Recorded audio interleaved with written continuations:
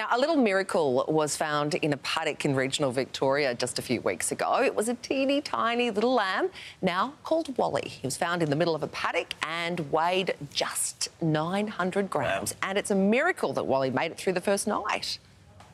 Farmers Ben and Sarah Polner, plus Wally, they join us now from their farm in Tower Hill. It's great to see you all. Thanks for joining us. Ben, can you tell us how you actually found Wally? Yeah, well, um, so we're in the middle of lambing. We don't. We're, just a small um, market garden here, and went out. Um, all we get all our lambs within about a week period. Went out there. We saw that um, one of our ewes had just had a lamb, and it was you know all very exciting.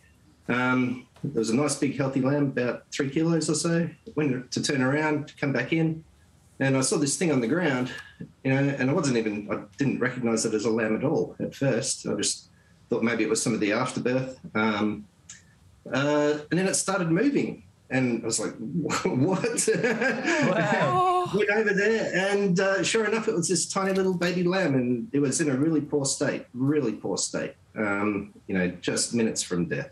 Oh, and, bless.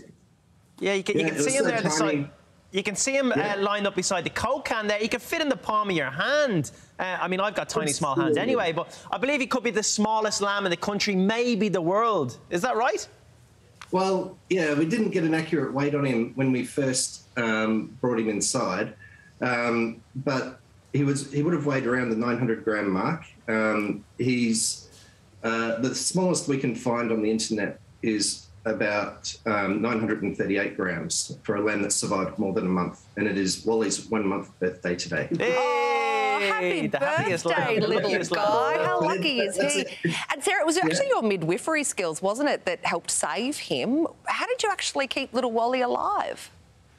Well, I don't know about that, but um, we do we do know that lambs need colostrum. Um, so we actually we were able to catch the mum and, and, milk her, so I could give the colostrum, and we just used a little syringe and my finger. I popped it into his mouth and let him suck, and um, yeah, so that was how we got the colostrum into him initially, um, which you know was the life saving thing for him, I think. Oh. So who named him? Where did Wally come from? I would have went with Larry.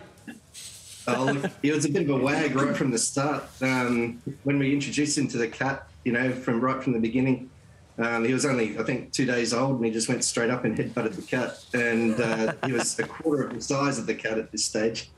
And he just kept on doing, you know, weird things. He was just a bit of a wag, and so he got the name Wally. It just stuck. What's that? Awesome. Look at him there, just nibbling at your glasses. And was he wearing a, little a little baby sheep nappy before? It's pretty adorable. What's sort of personality? Look It's a lamb in, yeah. lamb in a nappy. That is so cute. Um, what sort of personality? What sort of character does he have? Yeah, he's, he's a real wag. He um, he's quite calm now. We've been calming him down for the interview. Otherwise, he would have just been jumping all over us. he he, lo- he, loves a head scratch. So if you sit here and just you know scratch his head for a bit, he uh, he'll calm down for a fair bit. But he can he can be very temperamental um, when he wants a feed or he needs his nappy changed. He certainly lets us know, and he won't stop bleating until you do what he needs. You know, do what needs to be done. you two, you two, are, you two are farmers who work the land, and you two are absolutely smitten with Wally, aren't you? Oh, absolutely. We are, yeah. Yeah, look, our whole, we, we have three daughters all in high school. Um, and it's just been wonderful during lockdown. Um, it's given the kids something to focus on. Mm. You know, it's uh, especially at the beginning, Wally required 24 hour care, which was, you know, giving him feeds every hour. Um, then it progressed every two hours and so forth. So will he um, stay with you in the family home now, or will you send him out oh, back yeah. out to the well, paddock? Is he like a dog now? He's, he, has got. This is the only life he knows at the moment. And, you know, the kids love taking him into their beds, and when they're when they're at home in lockdown doing homework and schoolwork, he sits on those Zoom meetings at school, and, oh. um, that's so it's going to be a hard transition for him going back outside again. Oh uh, well, by the sounds of it, he's lucky to be alive, but he's even luckier to have a family like you guys. I think it's beautiful. Yeah, you can head to Wally the Lamb GoFundMe page or Ben and Sarah's social media pages at Volcano Produce to find out more.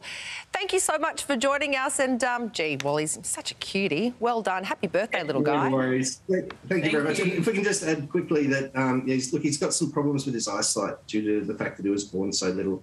And that's why we've got the GoFundMe page up, is to try and um, rectify those issues. So he's, he's got an appointment at Specsavers this morning.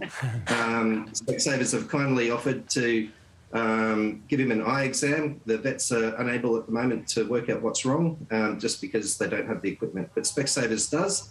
So, yeah, straight after this, we're off, off there and uh, hopefully we'll get a diagnosis. Oh, I that's hope he's awesome. all right. Yeah. Look, thanks again. It's such a sweet story. We need more of these. Thanks again. Thank, Thank you. you. Cheers. Thank you, guys. Take care.